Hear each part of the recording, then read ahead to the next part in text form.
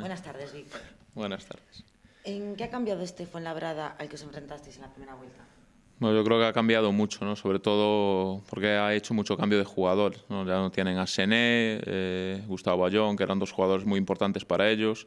Eh, han hecho nuevas incorporaciones como la de Soul Blanco, Mike Hall. Yo creo que es un, un equipo totalmente diferente a, al que nos encontramos en la primera vuelta. Sigue más o menos con un poco la misma filosofía de juego, de intentar correr mucho, ¿vale? muchas situaciones de, de salidas bloqueadas para sus tiradores, pero sobre todo lo que han hecho es eso, ser nuevos jugadores, pues ha cambiado ahí un poco. Los de Pozi encadenan cinco derrotas consecutivas y ganaron uno de los últimos ocho encuentros. ¿Crees que esto les hará más peligrosos este sábado? Sí, hombre, yo creo que cuando eh, pierdes partidos lo que hace es que estés ahí más en alerta, ¿no? Y sobre todo en los partidos de tu propia casa es en los que quieres tú siempre sacar adelante y en los que quieres hacerte más fuerte. Yo creo que evidentemente son más peligrosos en una situación eh, complicada como esta, que a lo mejor pues, que ya estuviesen eh, dos victorias por arriba, más salvados. Yo creo que va a ser un partido muy importante para ellos, igual que, para nosotros yo creo que va a ser un bonito, un bonito duelo por, por la permanencia, ¿no? que es en lo que estamos ahora los dos equipos pensando. Un nombre propio sería Leo Mainaldi. Sí, bueno, es un jugador referente para ellos, ¿no? Es un 4 con muy buena mano, eh, también con capacidad para jugar en en el poste bajo, es un poco el, jugador referente de ellos y ahora pues sobre el que, el que generan un poco todas las ventajas de, del juego ofensivo. ¿Otros nombres que destacarías? Otros nombres también importantes es Kid Penny, uno de los máximos anotadores de, de, del equipo, un jugador que fue eh, eh, máximo anotador en una Olimpiada. Eh, aquí ya nos hizo 25 puntos, nos hizo mucho daño.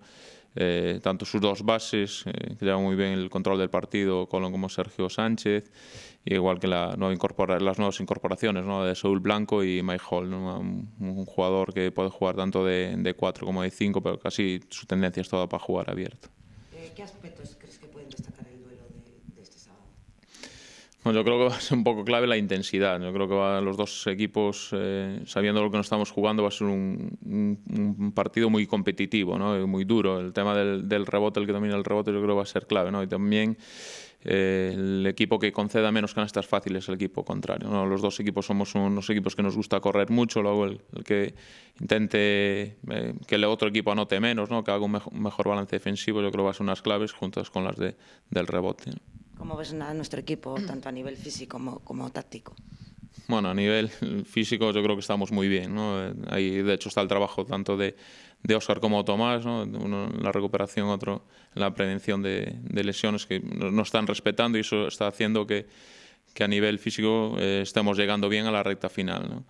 Eh, pues a nivel táctico, pues yo creo que ahora ya tenemos las cosas mucho más asentadas ¿no? de, lo que fue al, principio, que los jugadores más o menos ya, ya conocen todos eh, su rol, donde podemos sacar las ventajas eh, diferente contra el rival que estamos jugando y yo creo que eso que nos está haciendo que, que estemos eh, mucho más fluidos en el sistema de, juego en estos, ahora esta segunda vuelta que a lo mejor que en la primera.